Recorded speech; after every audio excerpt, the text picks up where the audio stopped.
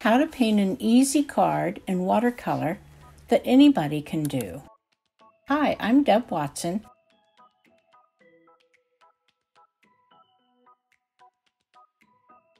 I'm starting with a piece of scrap paper and I'm mixing up a wash of light blue. Next, I wet my little piece of scrap paper. You can soak it in water or wet it with a brush or sponge. And then you drop some of the blue into it. You can already see it's awfully watery, so I add more color and keep going. Should I leave a spot for snow at the bottom? No, let's not worry about detail yet. Just get a nice wet wash with some blue on there. Next, I'm taking a razor blade. This one's a little bit rusty, and you have to be very careful with razors. But you can use any flat object that's nice and stiff, like a credit card cut in half or palette knife. I place it flat against the wet wash and pull it over as hard as I can to scrape the water and paint out of the paper. You can see it's not working very well, I'm not sure if it's because of the scrap paper, but I'm going to show you from another video. It's just a little insert, and I'll put the link to the video in the information below what it's supposed to look like. In this video, I was going to demonstrate the same thing in different colors but I ended up getting carried away and doing a whole painting. You can see I threw the color on there nice and wet and thick and juicy. And then I'm using my razor here and it's scraping out some nice white areas for the birch trees. And I'm making my trees different shapes and sizes. I'm making them different lengths apart Here's a credit card cut in half. You don't want to make three trees all in a row like a fence post. And if you have good paper and you have had a little practice, this is what it will look like. But if yours doesn't turn out white, don't keep scraping it. Just keep going with the lesson. It'll be fine. And you can also use the tip to scratch in or out some branches while it's still wet. Just kind of push the tip down and draw it across. And now I have a whole forest. Okay, now you can really see the difference. This, this paint could be a lot thicker, but it'll still turn out really nice. Whatever you have, just work with it. You can see I'm not getting much of an effect, so I'm going to come back with paint and fill it in. I'm going to put three trees on the card See if I can scratch anything in. No, it's too dry. Okay, now I'm switching to my brown. This is burnt sienna. And you can paint the color onto your razor or just dab your razor in the color on your palette. And once again, you put the razor at the side of the tree and pull it across. And it gives the paint a look like birch trees.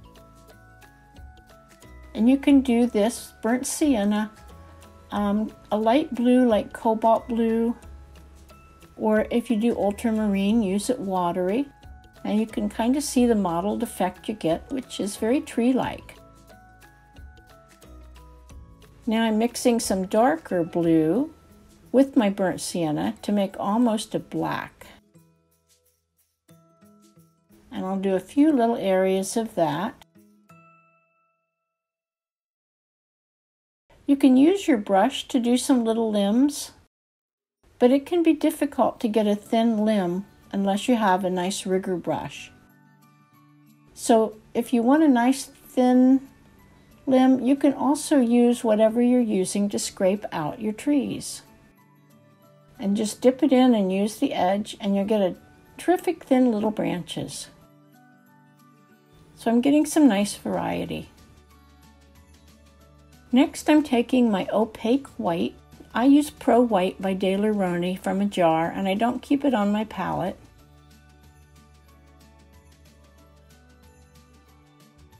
That's a little bit globby.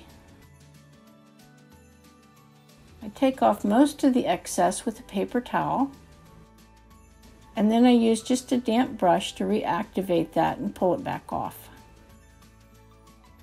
I'm going to fill back in with some of the blue and at this point I'm just going to let that dry.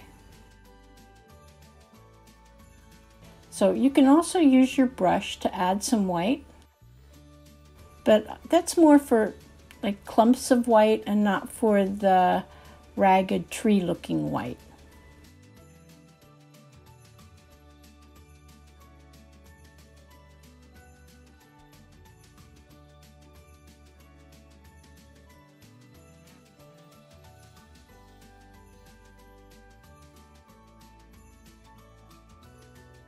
Here I'm using red to add a hint of a cardinal. Then I'm just using an ink pen once that dried to give it a sharp beak, an outline, and a little tail. I mix some thin white in the lid and I'm tapping the brush on my finger and spatter on some falling snow. I'm also putting some snow at the bottom now, white has a tendency to fade out. So you put it on and it looks good, and then as it dries, it kind of disappears. Here, now that this is dry, I'm putting a little more blue up there. And you can use a pencil or a brush to outline a bit. These are a special kind of scissors that give the paper a nice ragged edge. It's called a deckled edge. I don't want to lose much of this paper, but I'd like the edges to look nice because I'm going to be gluing it onto the front of a card. And my white has all faded out. I put it back on with thicker paint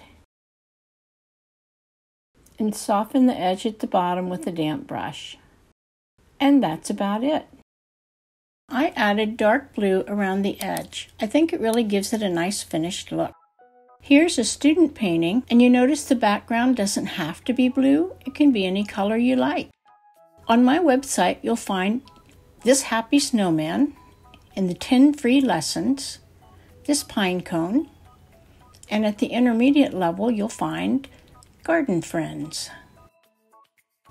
You don't have to do any drawing for my online lessons, and you don't have to do my version.